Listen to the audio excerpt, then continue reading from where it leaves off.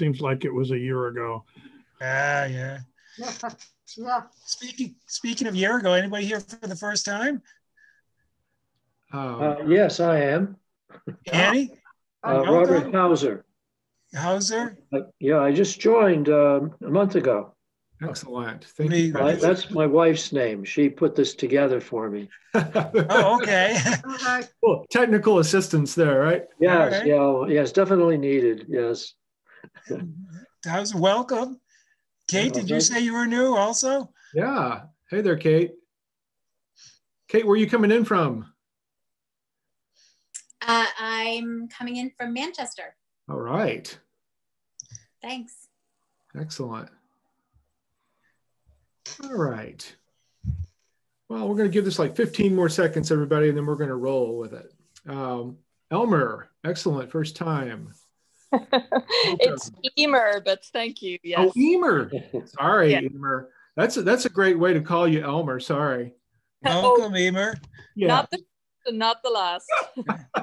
Good to see you, Emer. You're like, yeah, I got your Elmer here, buddy. Okay. Hang on. All right, everybody. Um, we're, we're right at 732, so let's get going. So welcome to the first meeting of 2021 of the New Hampshire Astronomical Society. Uh, I'm Wyatt Davis. I'm serving as president for 2021. I've been an Astronomical Society member for three years. Uh, my wife, Janet, and I came here from Dallas, Texas, and we live on the seacoast and love living in New Hampshire. Uh, and I'm a I'm an avid star watcher lifelong and have been very focused on this for about the last 10 years. So I'm very excited to serve in this capacity. I just want to point out to everybody that the mission of the Astronomical Society is to advance amateur astronomy.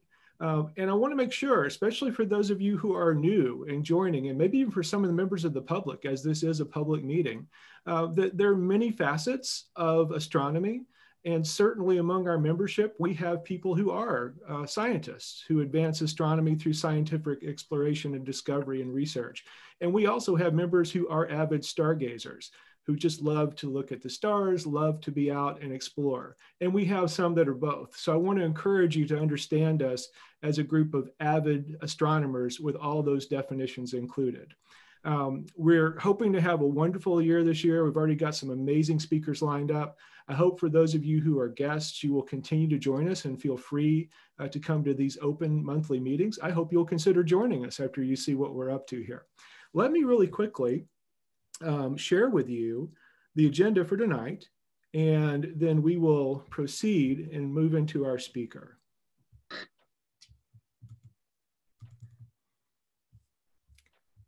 So here in a second, I'm going to ask a couple of our newer members uh, to maybe introduce themselves. And we're not trying to cover everybody because we actually have quite a few new speak, uh, members, which is wonderful. I'm going to hope that we'll do this every meeting though and have a few people uh, come in and in, just introduce themselves. We want to get people introduced to each other around the state, around the country. and so we'll just ask a couple of our newer members to do that. We have John Blackwell from the Banzer Observatory at Phillips Exeter Academy to speak to us tonight on Sidereus Nuncius, Galileo's message to the masses, which is just a fabulous topic. Uh, I'm going to facilitate a question and answer with John immediately after his presentation. And when we get there, you can put questions in the chat or you can just raise your hand and we'll, we'll go through those. And then we're actually going to do Galileo's deep sky observing list. Uh, direct from Sidereus Nuncius. And I'll take you through an observing guide that everybody can use tonight. Tonight's going to be a beautiful night uh, to get out and see these or anytime in January or this, uh, this winter time. So we'll do that. Um, I'm going to take you through resources for aspiring visual astronomers. And again, for the newer members of our club, for those who may be uh, closer to beginners, and just for our general guests, we want you to know what the Astronomical Society offers to help you go out, explore the stars, and begin your own journey in astronomy. So we'll cover some of those topics.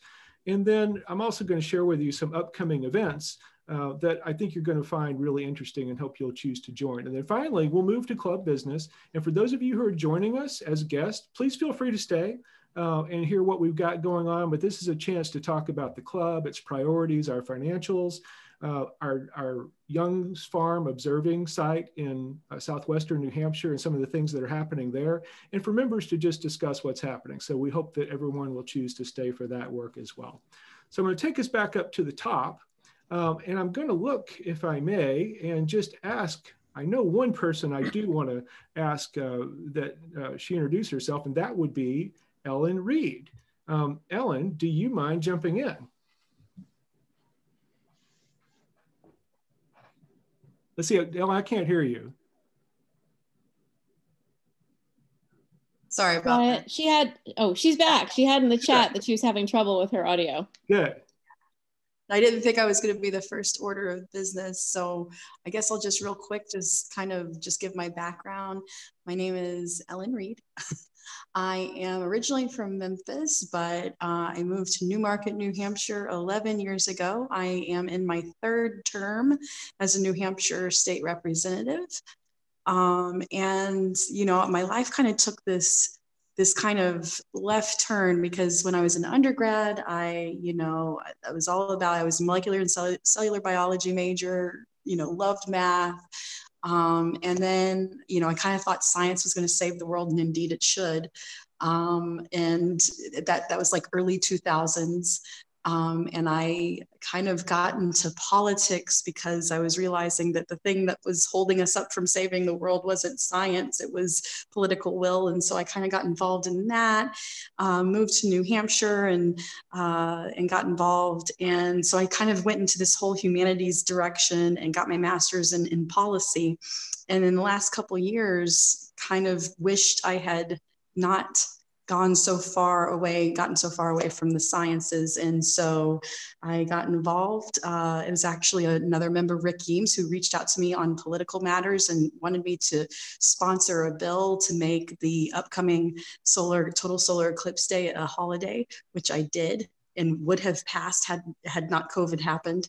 Um, but uh, that's how I got, you know, learned about you, and I had heard about the the library loan program, and um, so I got involved a, about a year and a half ago, and the club has just been amazing. There's just been so many generous members who have shared equipment with me, shared their time and knowledge with me. And I, I, just think that everybody's been awesome. And I wish all the political organizations I work with were half as organized as you are.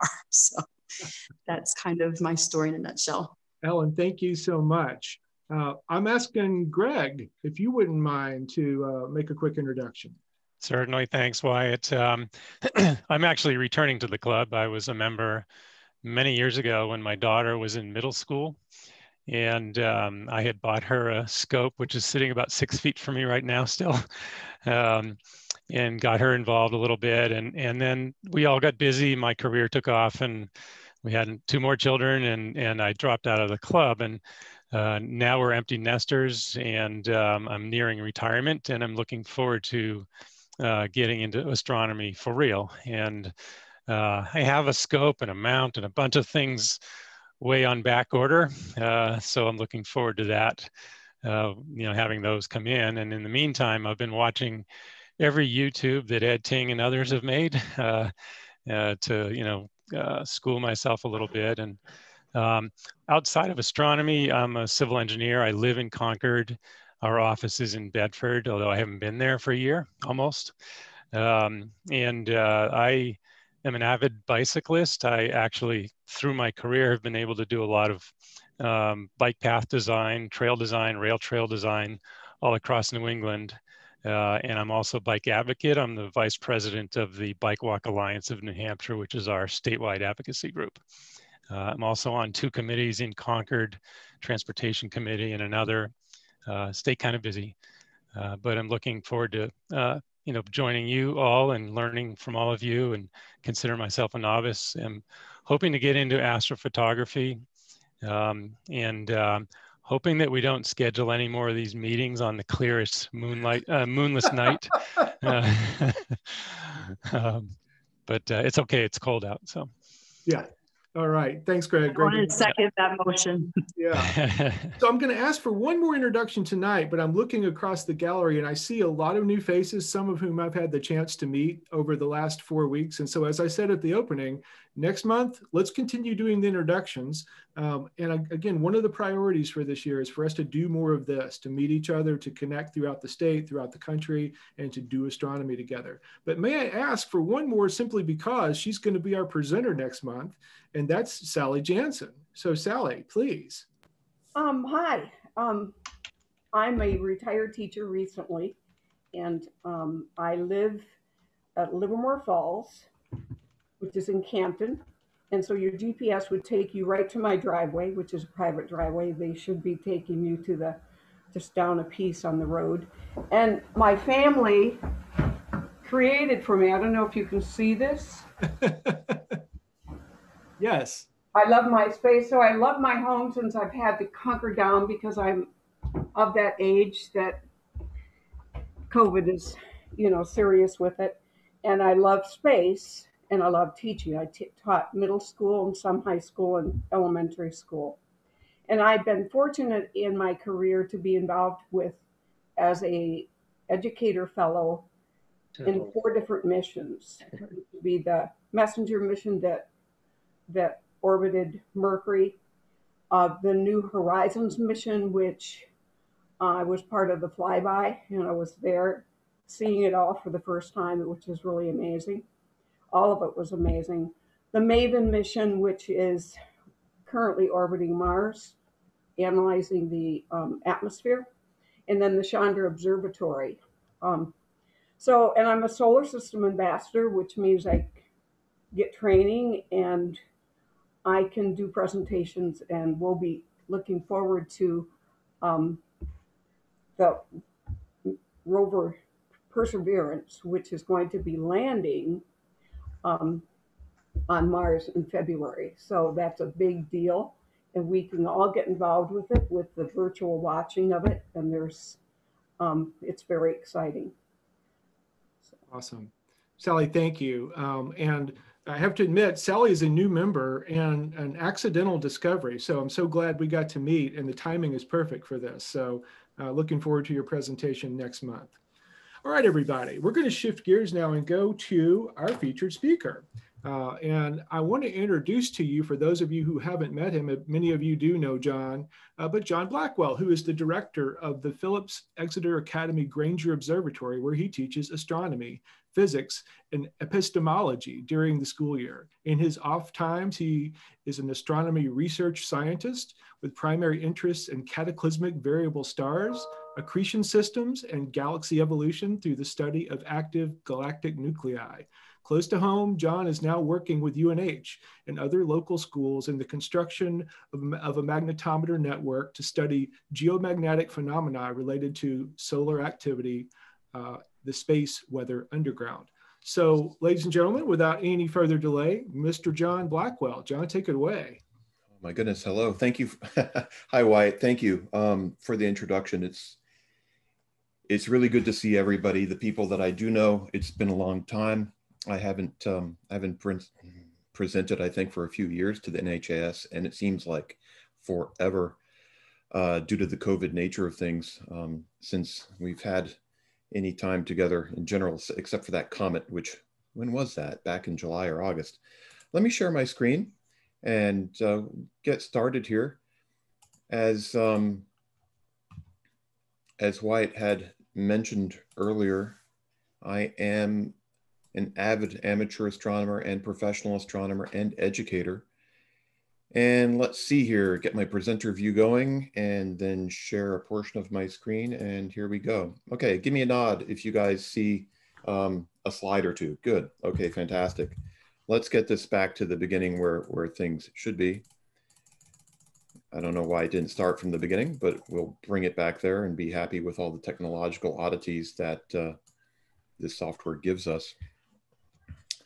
Um, and to the new people here at NHAS, thanks for joining us tonight. That's fantastic to have uh, new people here and some, some friends that I actually work with, uh, both uh, faculty and staff and students are actually on this call today. So welcome everybody, that's fantastic.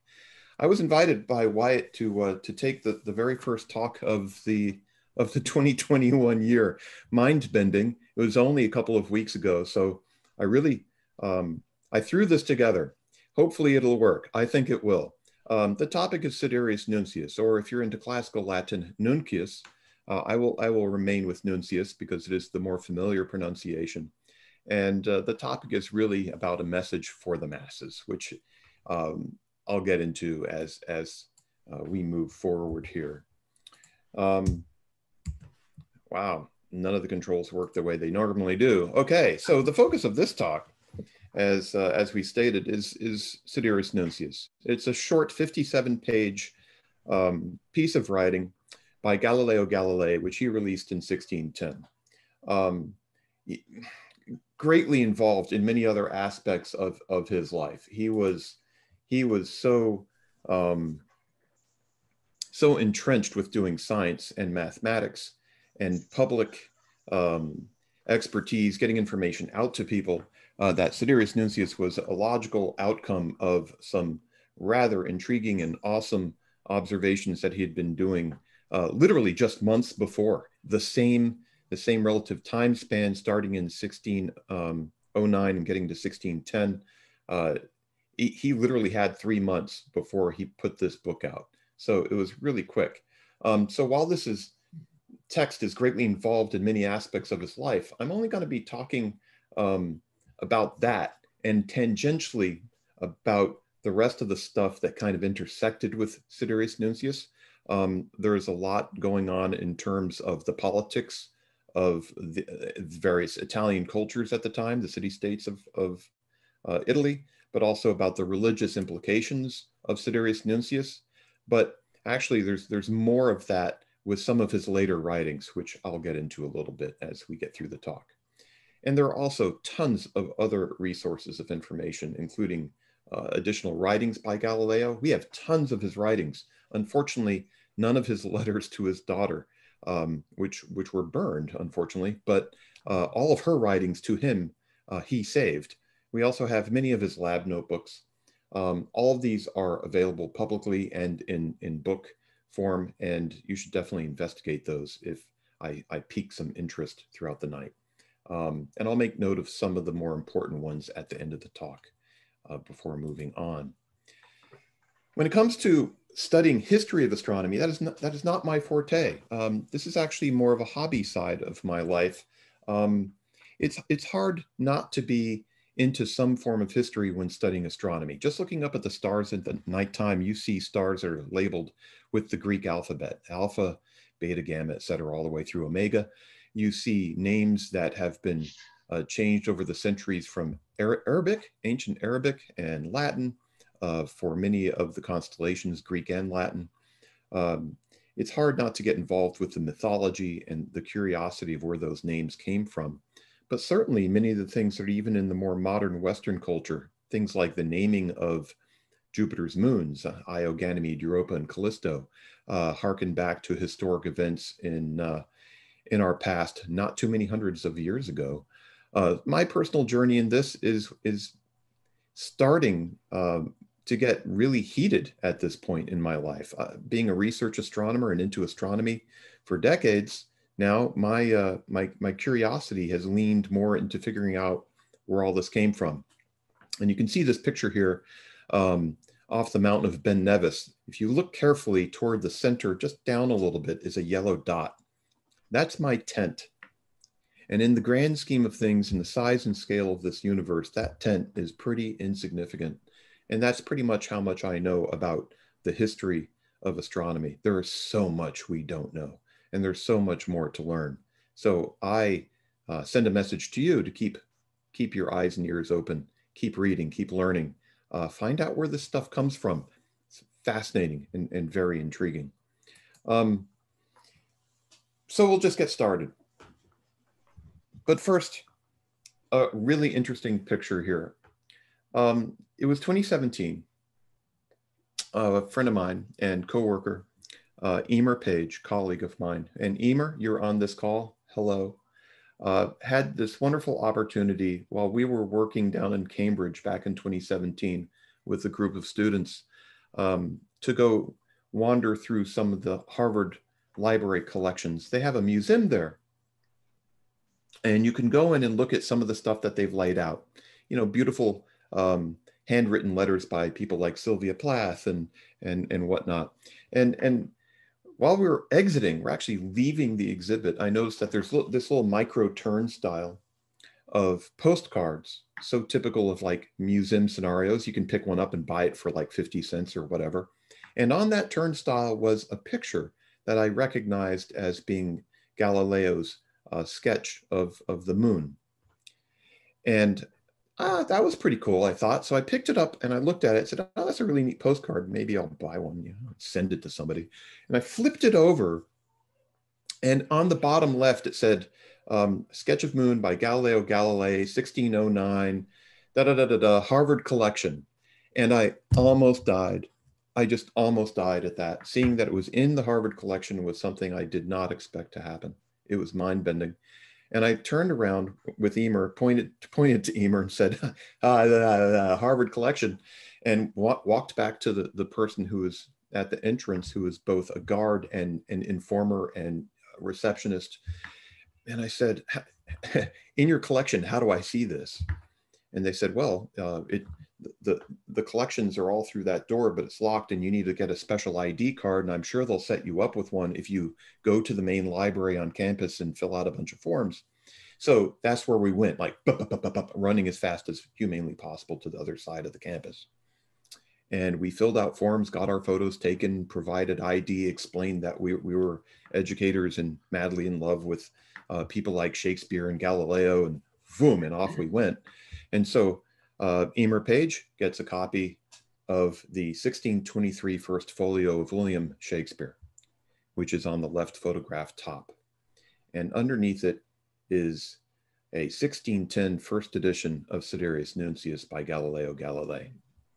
And you'll notice that we're not wearing uh, gloves. The, the actual Harvard Library does not wish people to wear gloves because it, they have found that it causes more damage to the texts than just using clean hands. Kind of mind bending to be holding 400 year old texts. You can smell them, feel them, and flip the pages with your bare fingers.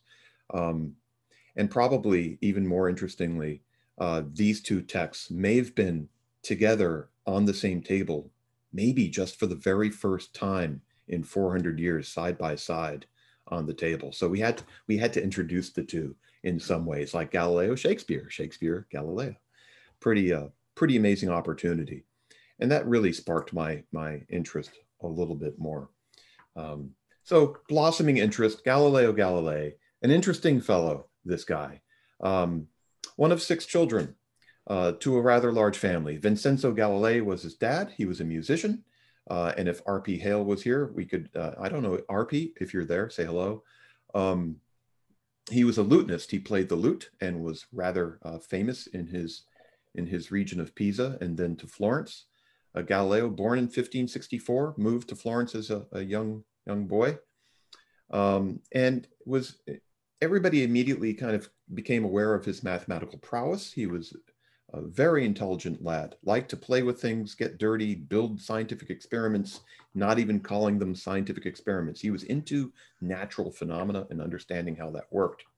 Um, but his dad really wasn't so much into that. Uh, he wanted Galileo um, to heed the calling of being the eldest son in the club and uh, start making money because back then it was it was important that the firstborn son provide the dowries for the younger daughters. Uh, so he had some business to attend to, i.e., making money. So he was sent to Pisa, also Tuscany, uh, to become a medical physician, uh, which after a few years he did not succeed at. He was much too interested in mathematics. Uh, fine, okay. Um, so he comes back home uh, to Florence and seeks work, and he starts tutoring people in mathematics. Um, and at the ripe age of 25 years old, publishes his first text in mathematics and becomes an overnight hit. Everybody loves this guy. Um, pretty, pretty amazingly famous at that point, to which he's invited to become a mathematics professor at the University of Pisa. Cool. So now he's got a job. But this guy, Galileo, is pretty full of himself. He's pretty arrogant. He's uh, he's got an ego, uh, but he was usually right. One of those types of people that uh, you know it's just like you don't want to argue with him because eventually he's just gonna he's just gonna win the win the uh, the discussion. Um, he becomes that uh, that math professor later in Padua after being kind of uh, unceremoniously removed from being a professor at Pisa. So after having a few arguments at Pisa, he becomes a mathematics professor in uh, competing uh, Florence in Padua in 1592. So now he's got a, another job. He's still a mathematics professor, well known, And at this point, Grand Duke Ferdinand de' Medici uh, has a son uh, who would be uh, later very famous, uh, Cosimo de' Medici, uh, later again, the new Grand Duke. Um, but this, this lad needs an education in mathematics. So he hires Galileo Galilei to be his math tutor for his son. And at that point, um, he's also invited to become a de Medici court member.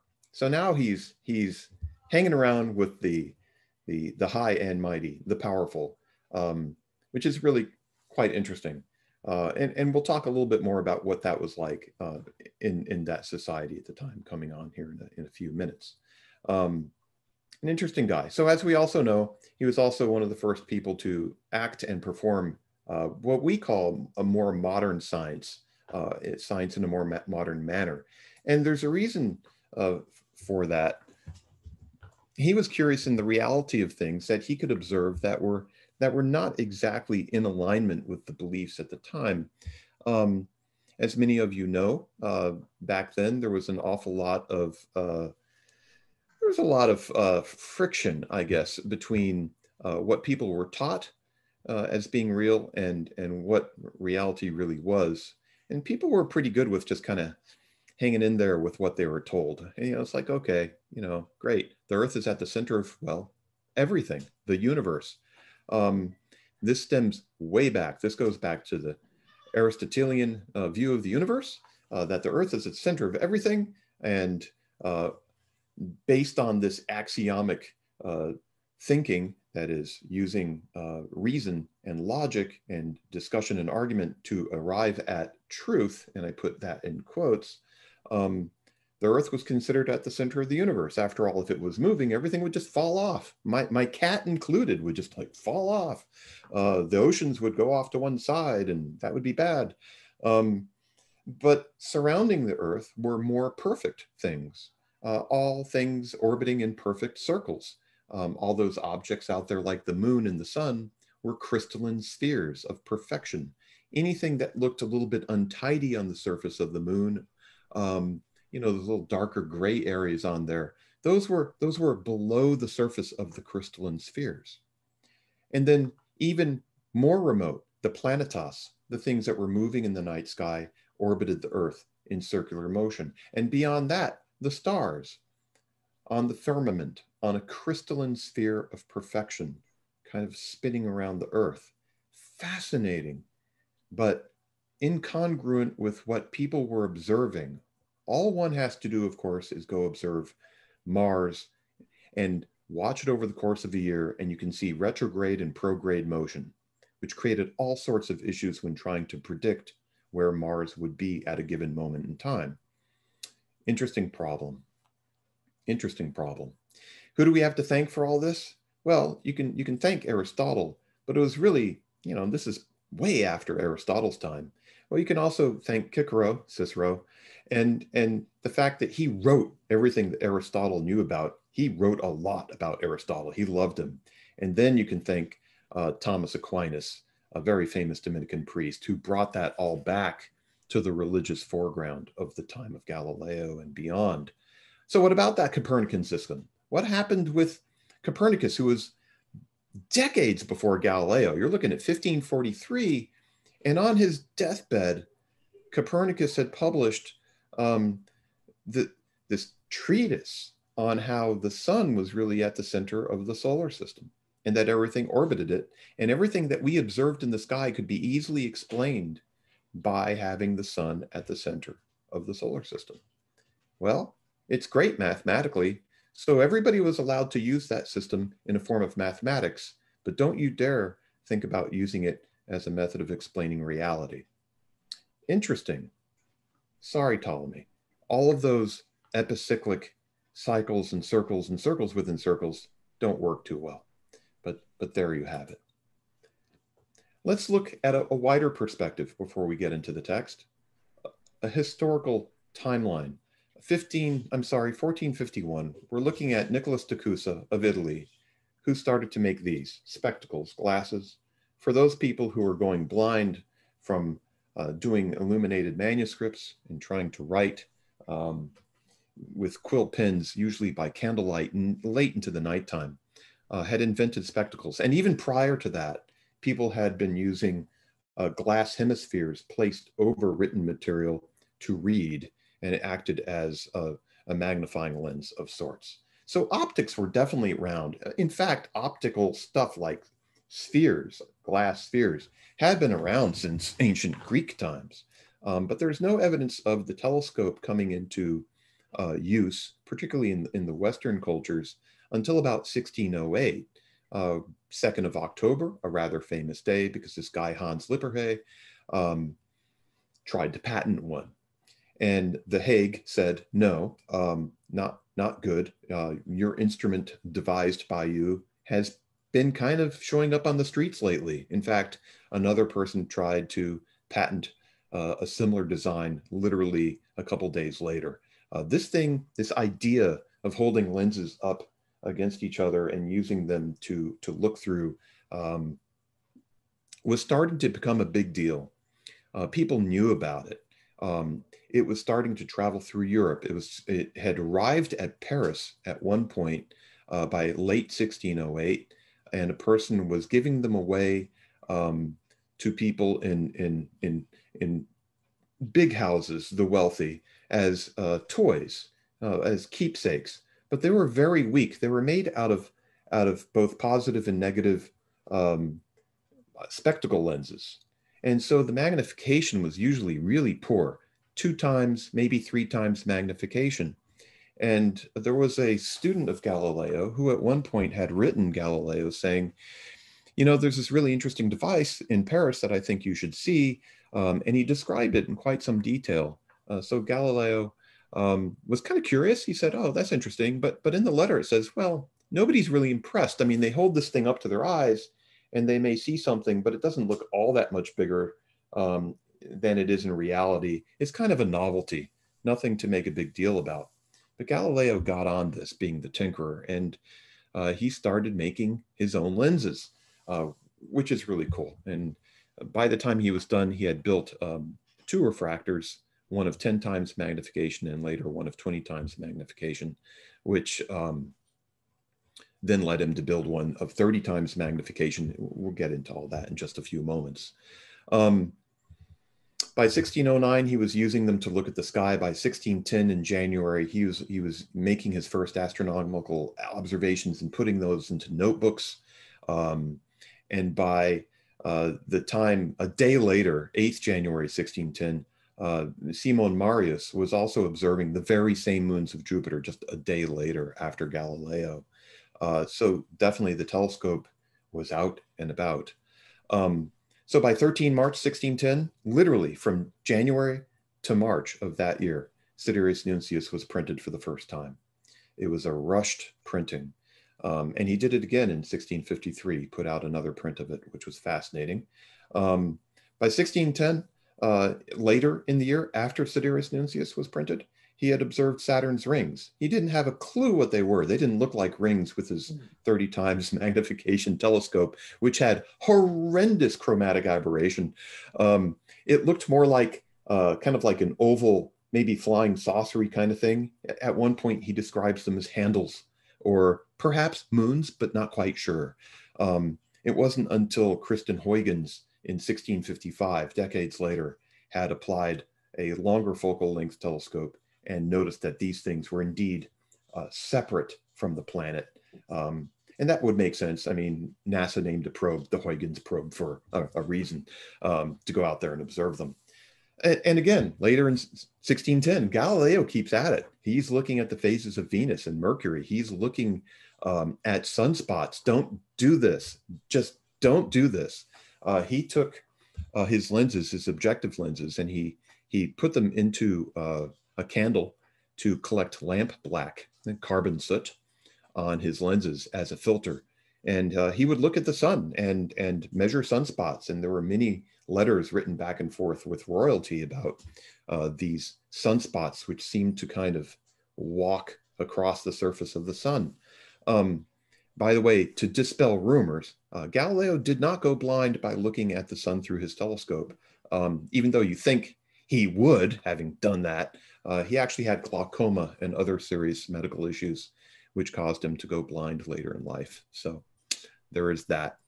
Uh, just dispelling that myth, um, which was one that I had learned many years ago. Like he looked at the sun and went blind doing it. Um, hmm, not necessarily true.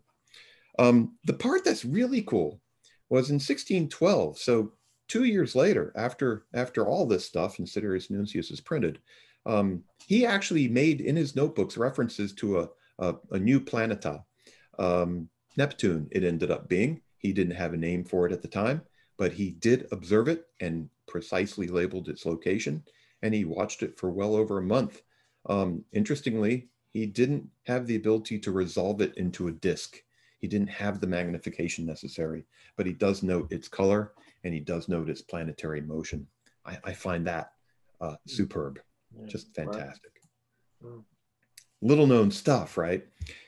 This is a cool thing. This this is Europe at about that time. This is slightly earlier, like 1600 ish. Uh, so 10 years before Sidereus Nuncius. But it gives you a perspective as to what's happening in terms of, of Europe and uh, Western Asia.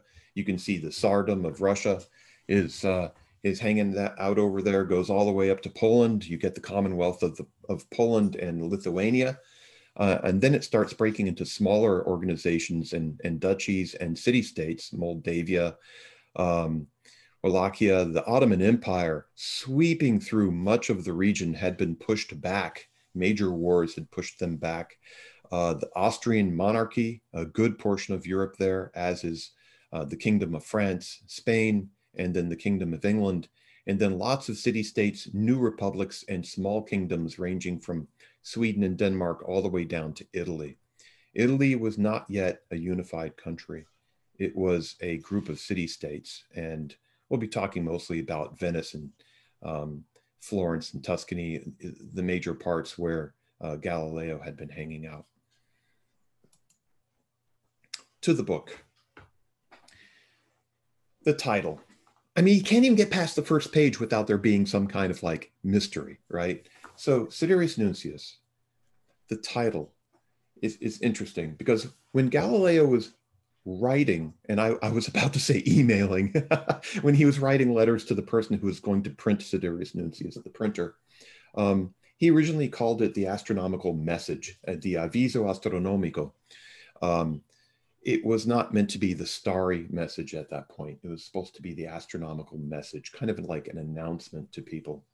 Um, and then when he was uh, just discussing with the governing body of Venice uh, permission to get it printed, this would be the Council of Ten.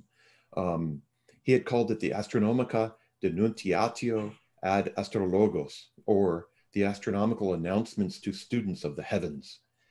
Whew, long title. Um, he's aiming this at uh, astronomers, the people who are naturalists who are looking up at the sky. Um, but as, as it got started printing, he was then calling it the Astronomicus Nuncius. Okay, the uh, maybe something having to do with astronomy message or, or notice or something. But literally, as they're starting to print the final pages, which include most of the artwork and whatnot, the title page is the last page be, to be printed here. Um, and he had decided to name it, to name it Sidereus Nuncius. Uh, he had changed his mind at the last moment. Nuncius can mean message, it can mean messenger. It's a difficult translation to us. Um, but interestingly, uh, a contemporary of Galileo, and I think you probably all know his name, his name was Johannes Kepler, um, had translated uh, Nuncius to mean uh, messenger. And it stuck from that point on. So that was in, in uh, Kepler's book, Dissertatio cum Nuncio Siderio. So it stuck. It's now called the starry messenger, not so much the starry message, which I'll let you decide whether it makes more or less sense. But what's telling also about this front page is what it says. Let's translate this quickly. I will read this for you. You can read the, the, the new Latin on the right. Um, unfolding great and very wonderful sights and displaying to gaze of everyone, but especially philosophers and astronomers, the things that were observed by Galileo Galilei, all in capitals, Florentine patrician and public mathematician of the University of Padua, with the help of a spyglass lately devised by him about the face of the moon, countless fixed stars, the Milky Way, nebulous stars, but especially about four planets flying around the star of Jupiter at unequal intervals and periods with wonderful swiftness, which, unknown by anyone until this day, the first author detected recently and decided to name Medicean stars. What a great opening! Fantastic. So much going on in there. But I think the most interesting word is the word devised. Of a spyglass lately devised by him. The word is reperti in New Latin, meaning invented or devised. Take your pick. Again, Galileo using literature, using words, using writing to perhaps sway the readers to think that he is much more than what he appears. Maybe he's trying to convince people that he invented the telescope. The jury's still out on that, but we'll see. What can you expect to find in this, this 56, 57 pages of text? It's actually really cool. Um, and you might actually have written much of this stuff yourself as a, an astronomer working with a small telescope in your yard or at your observatory or on trips. Um, lunar observations. He's looking at the moon. The moons of Jupiter. He's observing the moons of Jupiter. The complexity of the stars in the Milky Way and in famous nebulous regions, which I put quotes around. Um, there's also a little bit of politics. Um, that's a, a misspelling. Uh, this is an excellent example of very early grant writing, which I will explain shortly. But first, you need a telescope, which he describes in great detail. This is not his drawing, obviously. This is a much more modern representation of the traditional Galilean telescope. Um, it has a plano-convex, a positive lens, so a magnifying lens for the objective on the left-hand side here. This particular drawing shows two lenses stacked side by side for the equivalent effect. Eh, don't worry, his was a single piece of glass. Um, it had a focal length of about this, nothing splendid. You're, you're talking maybe half a meter at best for one of his larger telescopes.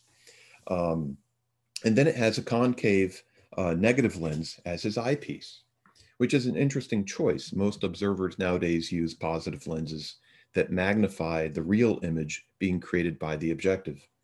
In this case, um, Galileo is using this to look at things that are far away, mostly uh, way out there at, at uh, infinity.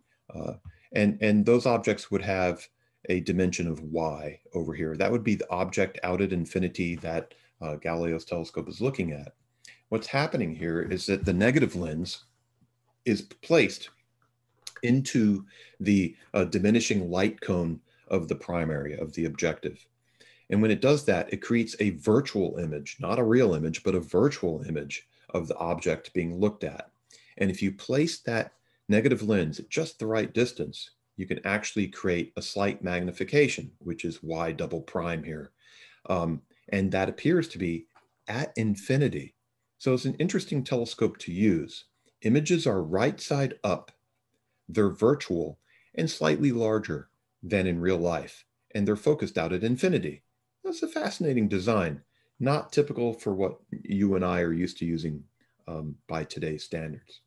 But it was interesting. Um, after building a 20 times magnification and then a 30 times magnification, he, he came upon an idea and he said, you know what?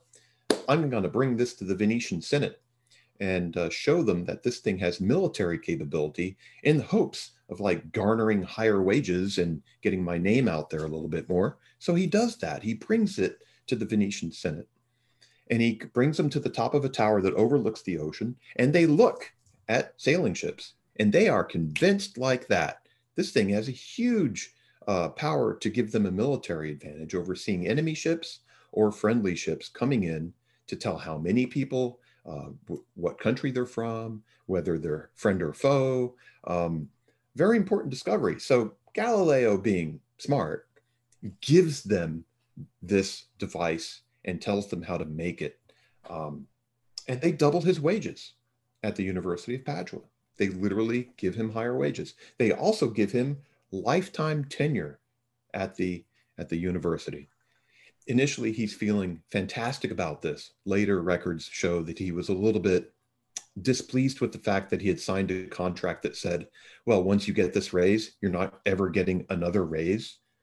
Oops. Mm, Maybe not the best negotiation, but but there you have it. Uh, the telescope is now in his possession, and he's now uh, figuring out how to make it a better instrument. Um, by the time he's finishing off writing Sidereus Nuncius, he puts a small cardboard uh, disc as a mask in the front of it uh, to help uh, decrease its diameter, increase its focal length, and reduce some of the rather annoying chromatic aberration that he has there um, to some positive effect, but it also diminishes the amount of photons getting through the telescope uh, to his eyes. Moving forward, he looks at the moon. This is some of the coolest stuff you'll ever see. He looks at the moon and he looks at it over the course of its full lunation through a full synodic period. And he notices that uh, there are mountains, um, notably things like this. If you can you guys see my mouse? Somebody say yes or no. Yes. Yes. Great, thank you. Um, he can see that there are mountain peaks that are illuminated by sunlight, the sun coming from the right-hand side here, that there are mountain peaks illuminated from the right-hand side, even though they are on the dark side of the moon. Fascinating stuff. And uh, gives him this idea that perhaps the surface of the moon is not a crystalline sphere and not smooth at all, but it is bumpy, logically bumpy, with mountains and valleys and plains. And he goes so far as to show a method of calculating their heights, which is fabulous. He uses nothing more than the Pythagorean theorem, um, where you've got the radius of the moon, you've got a mountain that has a height from A to D, and you've got the sun shining uh, from the right hand side, and the terminator line is FEC. So bright side of the moon is on the right, dark side on the left, but that mountain peak is being illuminated by sunlight. And so he can calculate the distances here just by using the Pythagorean theorem. He's not exactly accurate. He gets to a, a calculation of a few miles in altitude, much higher than anything on Earth that he knew of at the time. But still, um, he was really close. Later on, as, as this talk gets wrapped up, I'll show you a website where you can actually uh, look at the math, how it's done, and go try it yourself. After all, that, that's important. Um, he looks at Jupiter's moons. You can see on the left photographs of the text, on the right, his notebook um, looking at the position of the moons changing with time. He knows that they're regular, that they're periodic. He doesn't know what they are. He still calls them stars. And in fact, Jupiter is still kind of an unknown. He, he can resolve it to a disk, but he can't see the cloud belts on it yet. So his optics were probably pretty horrible by today's standards, but he's making really good motion in the right direction. Stars. He sees so many stars. This is incredible. Back then, everything to them was a nebula. The Milky Way was a nebula. The head of Orion uh, was a nebula. It was a nebulous region. So is the Praesepe, the beehive in Cancer, was a nebula. These are actual pages that fold out of Sidereus Nuncius. Beautiful. It surprised me because in the English translation, they don't fold out. They're just small little diagrams. These are complete foldouts um, of what he saw through his telescope oh, and, and also the Pleiades. And he makes note that rather than being nebulous and furry and fuzzy, that these things were actually comprised of hundreds, if not thousands, of stars that are now becoming visible and resolvable through his telescope, which dispels all sorts of issues, but it also creates new ones, of course. Fantastic observational skill is going on here. And I hear that later on in tonight's meeting, you'll be taking on a, a voyage through some of Galileo's um, selected deep sky objects. So I, I, won't go into, into much more there. Um, but he had a great time trying to figure out how to map Orion. He wanted to map the whole constellation, and he just he got overwhelmed in the first 10 minutes and writes a few paragraphs about being overwhelmed by just how many stars there are, which is just logically sane, right? Um, the last thing you run into several times in this text is really, I would say, one of the earliest forms of grant writing, and it's certainly a wonderful one for um, the 17th century, 1610. Um, he names these things that are orbiting Jupiter, uh, the Medicean stars. And it's just great. This could be his ticket back to Tuscany. Um, he's, he's going to uh, implore the Grand Duke uh, by naming these things after uh, his, his kids, his four sons.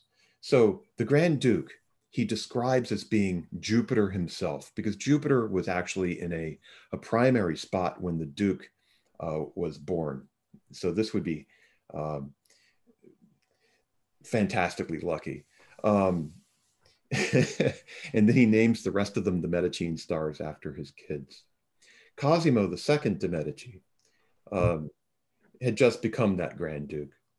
And so he's looking for some, some royalty here to help him out, cash flow wise. Um, and he does so pretty well. Listen to this. This is just such great writing. Serenissimo Grand Duke, which Grand Sir, Grand Duke, scarcely have the immortal graces of your soul begun to shine forth on earth. Then bright stars offer themselves in the heavens, which, like tongues longer lived than poets, will speak of and celebrate your most excellent virtues for all time. Way to go, Galileo. That's beautiful. Now, if I put that in the grant request nowadays, um, I don't think the NSF would give me a penny. They might smile a little bit and nod, but but there you go. This this made him like highly desirable among the locals at the time. Within months of this being printed, this phraseology being printed, he was invited to the courts of the King of Spain, the Holy Roman Emperor, and the French ambassadors to Italy. Not bad, right? He was a household celebrity. Um, and within months after that, he was installed in Cosimo's court in Florence. Not bad, not bad. But interestingly, we still call these moons the Galilean moons. But on a day to day basis, we know them as Io, Ganymede, uh, Callisto, and Europa, which had nothing to do with Galileo. It had to remember Simon Marius way back, who had been observing them literally the next day in January and had at one point uh, tried to prove to people that he had observed them before Galileo. Well, it's kind of sad. Um, Simon Marius was using the old Julius calendar, the Julian calendar, and Galileo was using the Gregorian. Uh, so they literally were just a day apart. Um, but it was Simon Marius who observed them and gave them those four names, uh, Io, Ganymede, Europa, and Callisto, in Mundus Jovialis in 1614 and those names have stuck. So another interesting tidbit of history. The message. The book does have a message. It is indeed a message to astronomers, and maybe that is the way that the title should have been named after all. To quote Galileo in English, it remains for us to reveal and make known what appears to be most important in the present manner. Four planets never seen from the beginning of the world right up to our day, the occasion of their discovery and observation, their positions, and the observations made over the past two months concerning their behavior and changes. And I call on all astronomers to devote themselves to investigating and determining their periods. Because of the shortness of time, literally three months, it has not been possible for us, I love that, the royal we, to achieve this so far. We advise them again, however, that they will need a very accurate glass, like the one we have described at the beginning of this account, lest they undertake such an investigation in vain. So, both a plea to go out and observe and figure out what's going on up there in the sky, and to be careful and to do it with proper instrumentation. Remember, these instruments, these telescopes, this was the first time in history somebody had used an instrument, a mechanical device, in this case, an optical mechanical device, to observe the invisible and to make it visible. There was much at stake here. The proof that a scientific instrument could make the invisible visible was highly questionable at the time, even dangerous at the time. And that brings up like the very last slide. To continue looking at what happened with Galileo, and all of you know about the incidences of his being brought before the Inquisition not once but twice, and leading eventually to his 1633 house arrest. By the way, his house arrest, not a terrible thing when you're an aging individual going blind and have a very large villa with servants and uh, vineyard. Um, it, he hated it, so he said, but maybe he did. Maybe he did. But there are worse ways to be arrested by the Inquisition at the time. That's just a thought. Sidereus Nuncius, get a copy. It's a wonderful edition. This translated by Albert Van Helden makes it much more readable. When I was a teenager and read it the first time, the translation was difficult. This is a very good one. It has over 50 pages of introductory notes and over 50 pages of endnotes and all 57 pages of Galileo's work, including drawings. Um, definitely a worthy read. Galileo Galilei, um, the, the dialogue concerning the two chief world systems. Now, this is the book that got him in trouble right here.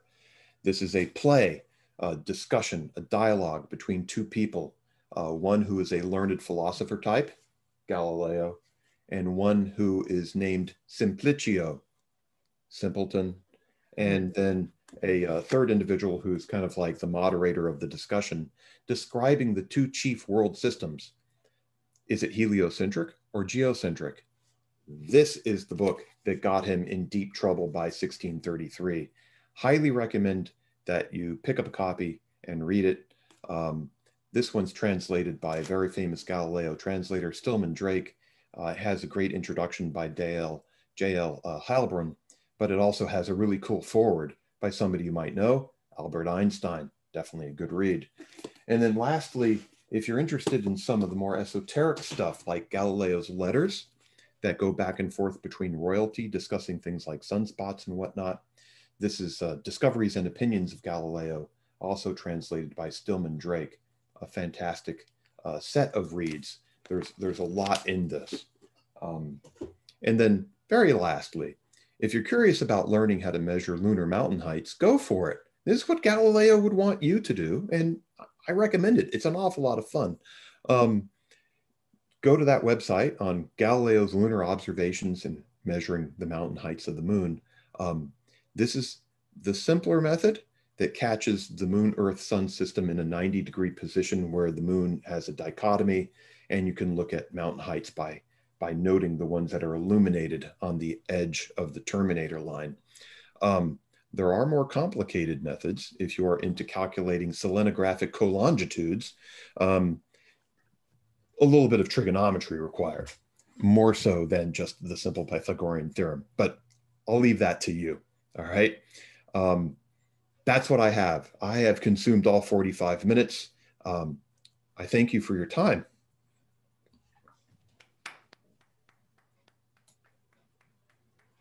John, that was awesome. Thank you, sir. Um, John, if you will stop your screen share, please, so we can see everybody. Thank you. So we do have some time carved out for just some general Q&A. Um, and again, I want to welcome everybody who's new here, our, our newer members and also the general public. So everything is on the table for questions. These do not have to be advanced uh, astronomical questions, uh, but we'd love to have anyone just step in and you can put your questions in the chat.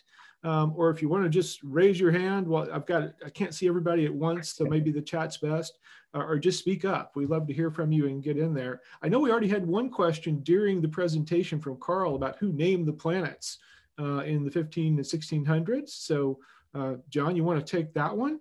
Who named the planets? Most of the planets already had names coming from antiquity, um, ancient Greek uh, leading up uh, through ancient Rome.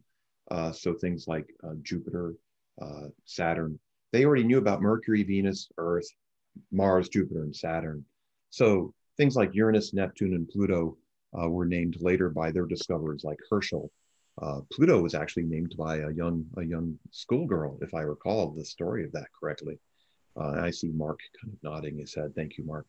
Um, so so named by the astronomers who discovered them generally, with the exception of Neptune, which unfortunately, you know, there it is.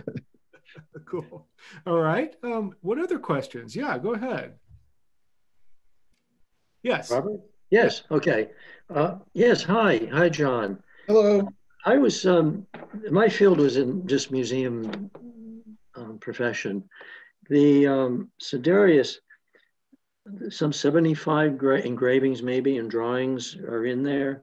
Did, did Galileo responsible for creating some of those drawings and engravings? Yes, um, in Sidereus Nuncius, Galileo was responsible for for the production of all of them, um, Mm. but in in close connection with the person who was doing the actual engraving work. Yeah, So, okay. so for example, um, this is tough, uh, right? Because Galileo was doing was doing sketches with charcoal, right? Okay. And and the problem with the charcoal and and he was also using uh, watercolor paint, so like sepia ink with brushes to do shaded work. He had to get somebody who could create these into both into wood blocks and similar, um, so that they could be mass printed.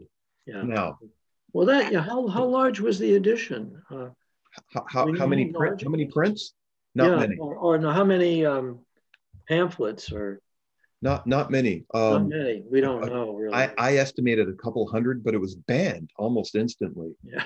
um, which, which which makes them not terribly rare, but really hard to get a good copy. Um, the Harvard has three of them. it's like woohoo! Um, go go check them out. Um, Well, I'll, I'll pay more attention at the next flea market I go to. you let me know, okay? okay, I'll show it to you. there there there is an important um, there is an important thing to be said about this because there was actually a copy that went up for auction was it a couple of years ago that somebody was proposing had been actually hand painted by Galileo and was like the the first proof edition of the book um, and that later turned out to be a forgery alas Uh-huh. Buyer beware. Yeah. exactly right buyer beware Th- thank you, John. Thank you. thank you Great. Other questions or observations? I have one. Yes, Linda. Hi. Um, I'm trying to connect this to. I'm, I'm very fascinated by the planets and and these the star systems, and I understand. I also like mythology, and uh, I, I noticed that there are a lot of names of stars. You know, like Orion's Belt and the Pleiades, and they're they're. I, I just want to know. and This may be off topic, but it's it's interesting to know that there's a lot of mythology. Um, you know that are that have something to do with the stars. Can you just sort of maybe make some connections there? Why is that Sure. perhaps? Sure, there's an awful lot going on. Um, have to remember going back um, thousands of years to the ancient Greeks and even even before Babylonia, uh, getting back to Mesopotamia, even um, star systems have been carrying their names with them for many years. Um, one that you and, and all probably have heard of many times, even in recent history, because it's been doing some interesting variability. Betelgeuse, which is uh, the bright star in the upper left uh, shoulder of Orion, the hunter classic. It's up there right now. It's a clear night. Um, um, so Orion the hunter, uh, Betelgeuse, really was a, a three-word uh, name, Betelgeuse, which means the joining of the hands of the two central ones. Now, who were the two central ones? Uh, long lost in recorded history, unfortunately, um, but pre pre ancient Greece.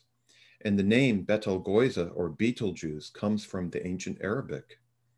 Um, so those names, many of the names like Rasalhague, um, things like that, come from uh, Arabic names. Some of them come from Greek and then more modern from Latin. And then as we get into the more modern era, uh, have been have been renamed and their names been shortened, made easier to pronounce.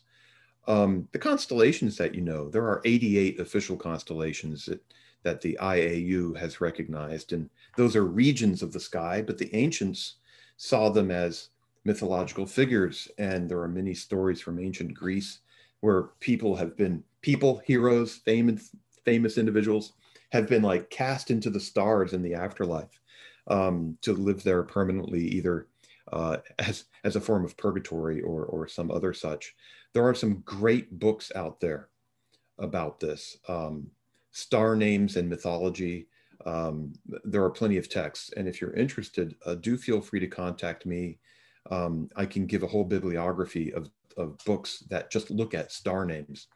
But there are a lot of really cool um, there are a lot of cool just just basic observatory manuals too um, there there's some uh, hanging out my bookshelf over there kind of buried are these these books by people like Wil Tirion who are famous stellar cartographers and they have little star histories in them um, some of the norton uh, anthologies have got some uh, some star name information in there as well burnham's celestial handbook which is a, a multi-volume set.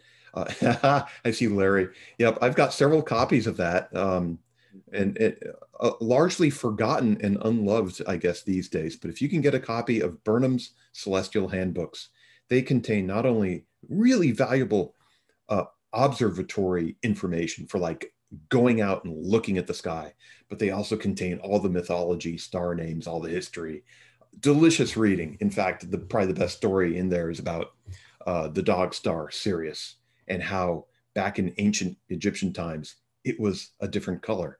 A fantastic read. So. Well, thank you very much. I'm very interested in sort of you know putting those two things together. Cool. Thank you.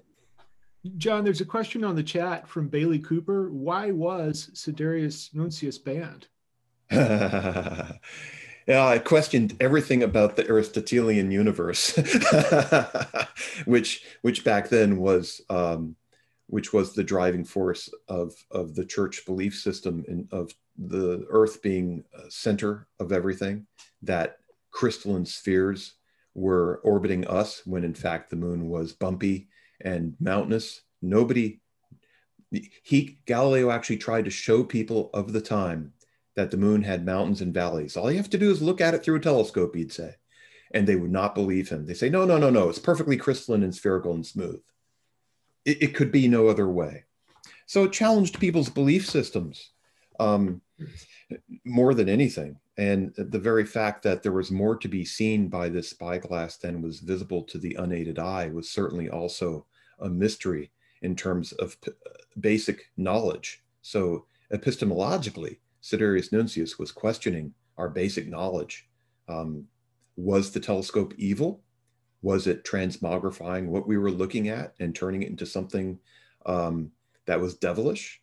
Uh, it was banned, but more, more importantly, uh, Il Dialogo, the dialogue of the two chief world systems, was banned even more immediately. By the way, Harvard has a copy of that as well, um, in good condition, though it has some redacted portions by the church back in the 1600s. Great stuff. Great stuff. Stephen, would you like to um, read your observation in the chat for the group? Oh, Stephen, we're not hearing you for some reason. Yeah, no, sorry. I was looking, I'm using my new iPad. I'm not an iPad person, so I'm trying to figure out where's the mute button on, the, on this one. Um, so yeah, I was just, I just wanted to, you know, make an important note that, you know, cultures around the world in different parts.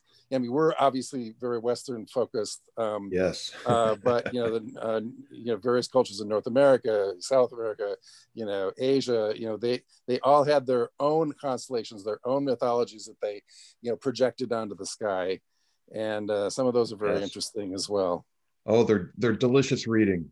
They really are. Um, and if you've ever been to a truly dark sky site, you'll understand why um, the people of South America don't have constellations connecting the dots of the stars, but they actually use the dark nebulosity regions of the Milky Way as constellations. It's fascinating. It's really fascinating. Uh, a worthy study if you're if you're interested. I have lots of texts on on that as well.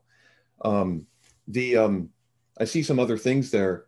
Um, what evidence did people use for the Aristotelian model? Uh, largely uh, simplicity um, the fact that it goes back to Aristotle, then Cicero, and then all the way up to St. Thomas Aquinas, the orderliness, of it was very important. The fact that things could be described as being more perfect the further you got away from the imperfections of the earth, air, fire, and water of of uh, the surface of the earth and hell below us, Dante's Inferno. We also know that quintessence was out there toward the heavenly uh, firmament. Um, the fact that if the earth was moving, then things would fall off it. So logically, we aren't moving. Um, but the idea that that things could be orbiting other things that are orbiting Jupiter, Jupiter's moons orbiting Earth, um, really kind of cast doubt to all that, which was which was interesting. Um, will the PowerPoint be posted? Um, certainly, I have no problem giving a, like a PDF copy of that. Uh, Wyatt, you just email me later. We'll figure out how to make that happen. Cool. All right. Other questions? Thoughts, observations? Would you make a list of those books that you had mentioned earlier, please? Um, so I, so I can't text it really fast to myself. Those books that you were talking about. Sure, Um, Linda. You know what? I'll put those in the bibliographical section at the end of this PowerPoint. Okay. Oh, Thank you very Just- much. I'll just do a last minute edit and I'll send it off to Wyatt. Thank you. And, and Paola, hello again, Paola. Good to see Hi. you. Hello.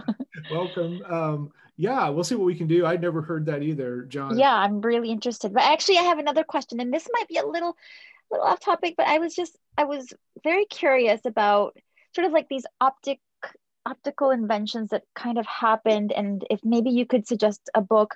I'm very interested in sort of um, how the evolution of the of the telescope, microscope, glasses. Like, when did we begin to use all these to to augment our our vision and um, i'd be very interested to hear all these because i'm just fascinated by you know i was i was thinking right now of um of how how these all sort of just um how they overlapped Well, and ha- um, happy to help. Yeah, I can yeah, throw yeah. that in, in there too. Uh, the thank you so much Not a problem. thank you And Paolo, yeah? Paula? Paula, yes paola yes nice to meet you.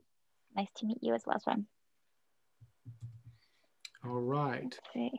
Well, thank you, people. It's been fun. Yeah, I It's been a think while, that, so was, that was absolutely awesome. that was fantastic thank you thanks. Okay. Thank All right. So um, now, so that we can all follow in Galileo's footsteps, let's do um, a quick deep sky observation uh, tour with Galileo. I put the, together this observing guide, and I'll e- email this out to the membership. Uh, and anybody who's a guest tonight, if you're interested in getting this, my email is going to be at the bottom of this, president at nhastro.com, but just email me, I'll send it to you. We'll also make sure you get a copy of John's presentation.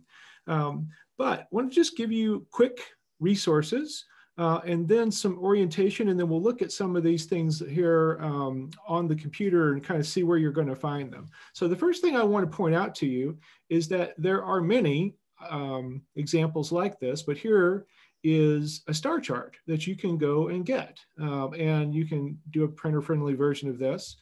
And this contains all of the objects that are in Galileo's deep sky uh, Sidereus Nuncius list, if you will, uh, including the constellation Orion, which we're going to talk about here in just a second, located right here.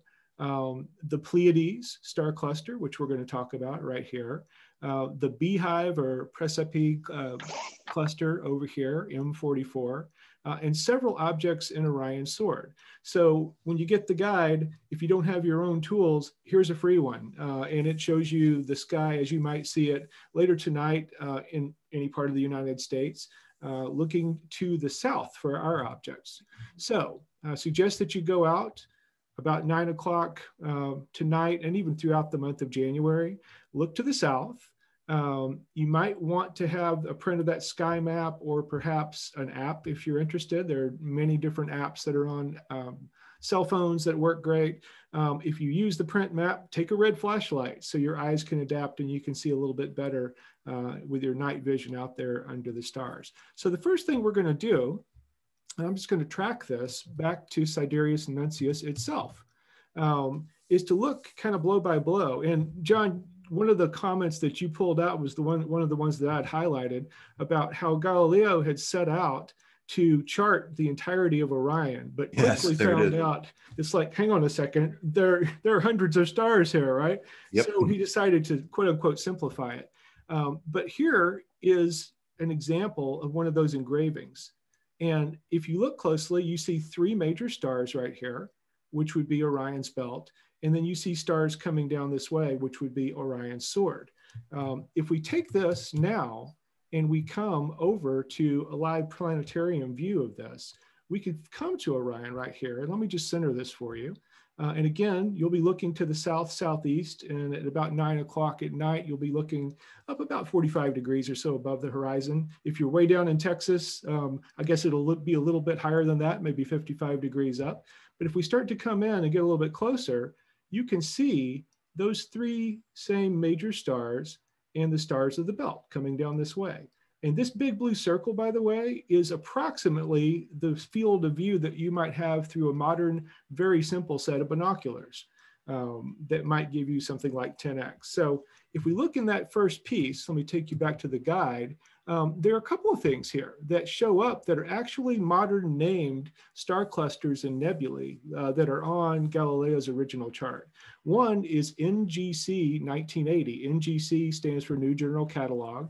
It's an open star cluster, and it would be illustrated down in this area on Galileo's engraving.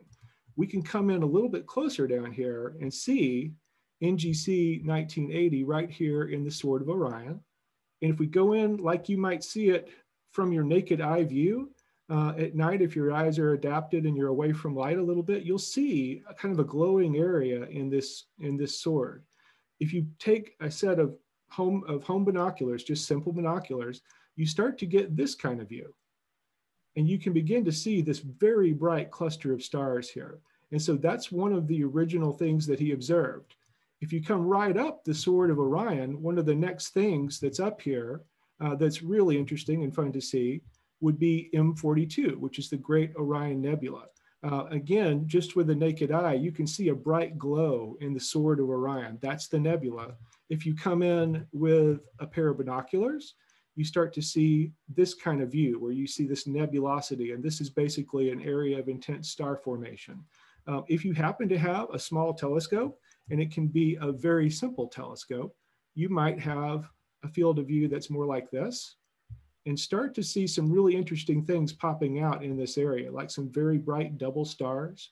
Um, and coming back up into the nebula itself, even seeing some very famous multi-star systems like the trapezium, for example. So all of these things are easily viewable uh, in a small telescope just from your backyard. Let's keep going quickly. Uh, if you come on up the Sword of Orion, you'll come to another star cluster, which is illustrated in Galileo's engravings uh, right about here. And this is NGC 1981, um, easily observed with a set of binoculars as a very bright grouping of stars right here. And again, with a small telescope, if you were to center this uh, and put a little bit more magnification on it, you would start to get a view that looks like this. Uh, I think this is, I can't remember what this, the popular name is, but it almost looks like a, like a running man or something like that. You can make up your own idea about what it looks like, but just a scattering of stars. I'm gonna take you quickly up to the head of Orion, and this is one of the specific things that's referenced in Sidereus Nuncius. Um, Galileo talks about the nebula of Orion, quote unquote, and illustrates it this way. Today, in modern terms, it is a star cluster uh, referred to as Collinder 69. It's up above the two bright cornerstones of Orion and the nebula, uh, and it is a very broad, loose uh, star cluster. So it will look like a, a, broad spray of stars in a, in a telescope. Actually, not particularly uh, awesome compared to the, to the belt of Orion. But one kind of interesting thing for those of you that do have a small telescope, if you go in a little bit further, you start to see more details on the stars. But if you crank up the magnification just a little bit more, this one star right here in the middle is actually a very beautiful double star uh, that you can, you can make out when you apply higher magnification. So that's just one thing to look at. My favorite engraving from all of Sidereus Nuncius is that of the Pleiades, uh, and it is right here. Um, and so I think that many of you may be familiar with the Pleiades. If you've ever seen uh, the logo of a Subaru. Uh, the logos of Subarus are the Pleiades. If you ever see the Pleiades traveling towards you at a rapid rate of speed, you should get out of the road. That's a joke. Um, let's go there. The Pleiades are up here to the south, high in the sky. very small, very bright. They almost look like a kite. So when we come in here, you'll see them with your naked eye. If you come in with binoculars, they're absolutely gorgeous. One of the most beautiful star clusters out there, in my opinion. Very bright white stars. You'll notice this nebulosity that's illustrated on the computer screen. Um, as you get closer to these, and if you have good dark sky, you can make out that nebulosity. And with a small telescope, again, you can come in and see immense detail. These beautiful chains of stars, double stars, nebulosity, one of the most amazing star clusters out there. So a neat object to check out for sure. One last one quickly, which is M44, the beehive cluster. And this is what Galileo refers to as the nebula of Praesepe right here. Um, this is a very large star cluster that's actually located a little bit to the east of all of these locations. Over here, it's going to be low in the horizon in the east tonight. Uh, if you're interested to see this, on a dark night, you will see this um, with your naked eye. And it's actually kind of hard to see in a telescope because it is so large. But if we come in here with binoculars, uh, it's a very beautiful, very broad spray of stars and easy to see and really a lot of fun. So that's just a quick view, a, a tour guide for you. Anybody can do this with your naked eye, with binoculars from home, with a small telescope. And for those of you that do, if you want to log your observations, email them to me and we'll send you an NHS observing certificate. So that's the quick tour. Um, and again, for any of you who aren't members, uh, if you want to just email me, president at NHAS or nhastro.com, I'll be glad to send that to you. All right. How many of you have actually done that, that list before? Show of hands. Uh, Robert. Good. All right. I encourage you to give it a try. And then, you know, the moon, measuring the mountains of the moon, that's a that's a completely different challenge I've never thought of, John, but apparently highly recommended. So we'll we'll try that one next. Okay, um, John, thanks again for joining us. Great presentation. Um, let's go ahead and shift gears. I want to cover for everybody uh, and for our newer members, uh, for our guests tonight, several of the resources that we have as the Astronomical Society for what we'll call aspiring um, astronomers. So the first thing that's coming up, and this is something that we haven't done before in the pandemic era, is we're taking some of our traditional programming, which would involve getting together, setting up telescopes and talking about observing, uh, talking about using telescopes and binoculars, and we're gonna take it online. Uh, so here at the end of January, we're launching something called Visual Observing Shop Talk. And this is available to members. Uh, and this is going to be in a format just like what you see tonight, but we're going to be using some broader scope webcams, setting up some basic telescopes, using some binoculars, and just talking about anything that comes up. And I really want to underscore that there's no topic that's uh, too basic in this conversation, and there's no topic that's too advanced.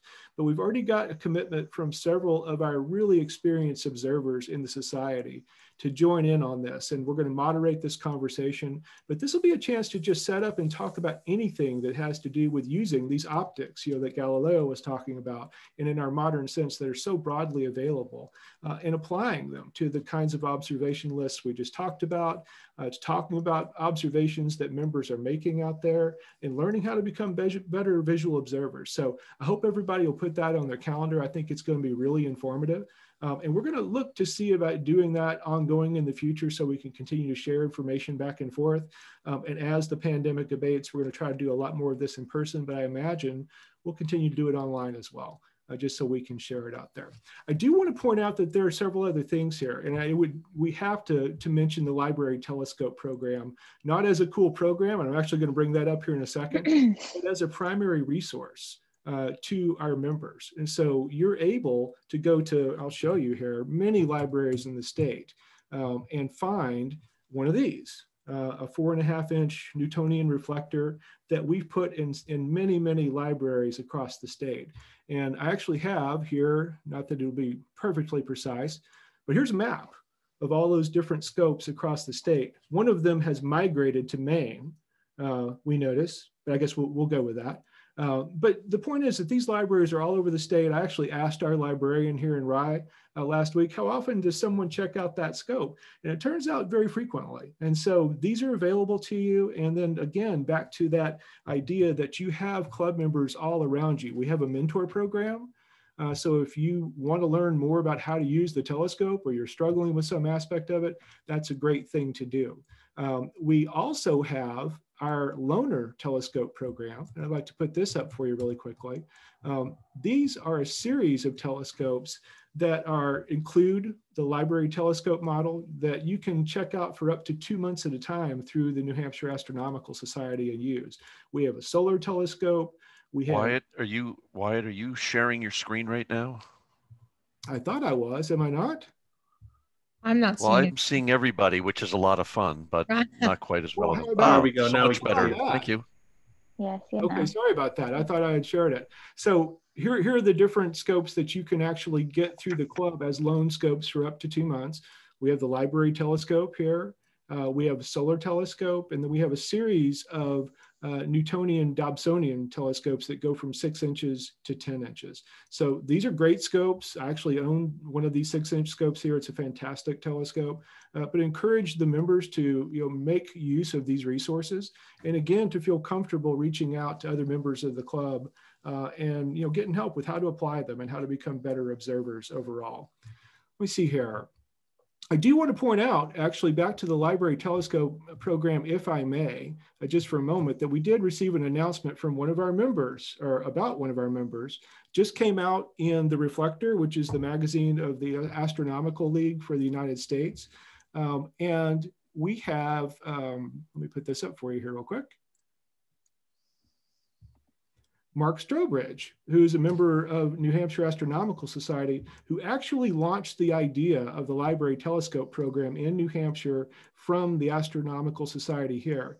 This program has since been taken on by the Astronomical League and, and promulgated throughout the United States, throughout the world. And Mark was just recognized for his work there. So if we may, a, a round of applause for Mark. It's really an amazing program.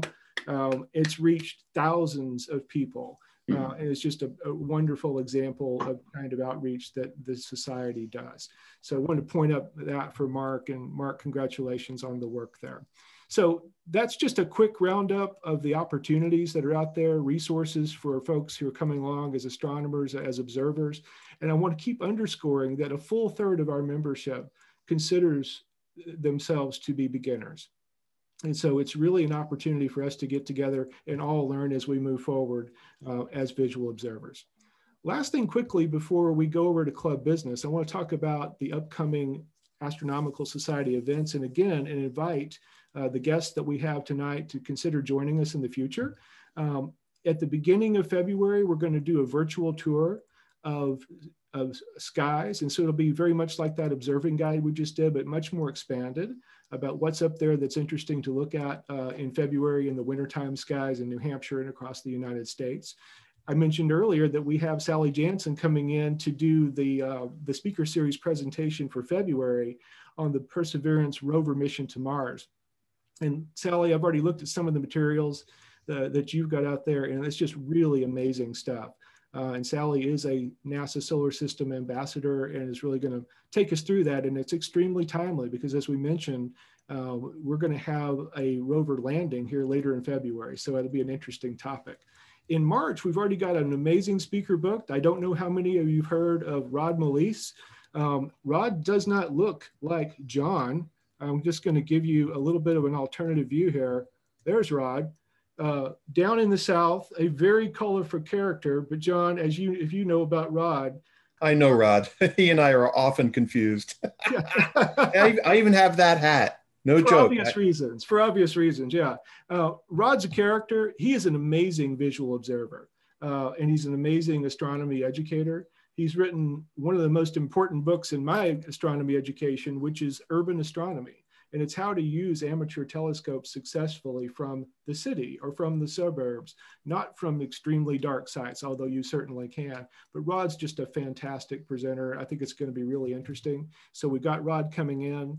I welcome your ideas, by the way, for future presenters and topics. So please feel free to reach out to me and let me know what you're thinking. We're working on this now. We've got some really interesting connections to the leadership at Sky and Telescope magazine, who in turn have really interesting connections to a really broad swath of great experts across the world. So we're working to bring those folks in, and I'd love to know what is interesting to you. Are there any other events that anyone would like to bring up while we have this topic up?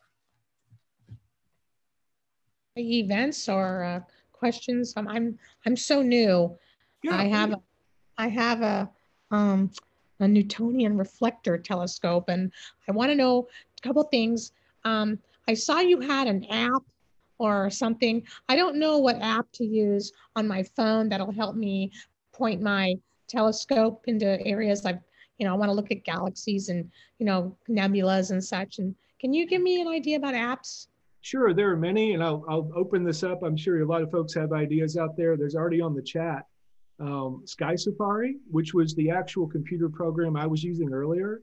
I'm using it on a Mac, uh, but it is available for iPhone and Android as an app. And the basic version, I think, is maybe two dollars. Yeah, I'm looking at it. I, I'd like type it in. Yeah. You Uh, Yeah. and, it's, and it's excellent. And there are others out there like that, but that would be a, a, a really good one uh, potentially. Okay. Yeah. And Or Carl, try Sky Portal. It's a free app by Celestron, and it's free because you can use it to run their telescopes. Um, but it's the same as Sky Safari. I believe it is. Um, and it's very intuitive. I um, this may be heretical, but I, it it's easier for me to use than uh, Stellarium, which is another one. Good. Lin- Does that help, Linda? Yeah. What what did you call it? Sky. What was the other one? Sky what? Sky Portal, Portal. Portal, Okay. And um, also um, Stellarium. And don't ask me to spell that. But something else you might find useful, as I think of it, is um, uh, oh gosh, um, uh, virtual moon atlas. Yep. That has more information about everything you can see on the moon than you will ever, ever want to know. Um, Yep. the Sky Portal, by the way, is really nice when working with kids because it has an audio feature. So instead of relying on, you know, an eighth or ninth grade reading reading level, they can listen to it. Mhm. Yeah, Cool. Okay. Thank you very much. And Linda, these are good examples of the kinds of things we're going to do in the shop talk as well. Yeah. So I hope you'll hope you'll join us. Yeah, and we'll we'll, Got it on my calendar. good. we'll we'll drill into all of that and a whole lot more. So look. yeah, thank you. Because it's just been sitting in my sunroom, and I'm like, I, I looked at the moon, and I'm like, okay, I know that one, but I mean, you know, I kind of want to move along a little bit more than that. Right. Thank you very much. You're welcome. Okay. Remarkably, we're right on agenda, which is amazing. Um, we're going to shift gears to club business. Before we do, and especially for our guests, I am going to make an ask, and that is uh, if you haven't joined us yet, please consider doing so. Uh, we're going to be doing this kind of programming. Uh, we're going to get together online to talk about astronomy, talk about observing. As the pandemic abates, we're going to do a lot more up at our dark sky site in southwestern New Hampshire, the Young Farm Observing um, site, which is an amazing asset. We have 16 and 14 inch telescopes up there in a formal observatory. And so we'll be getting there. Uh, and the other thing I really want to point out is your membership and your support help us do things like the Library Telescope Program in like public outreach all over the state and increasingly with our online work all over the world. Uh, so we're able to reach kids in schools and uh, adults who are interested and connect people. And we think this is just really important work to advance amateur astronomy, to advance science and love of the stars. So hope that you'll consider joining us. All right. Um, let's shift gears to club business.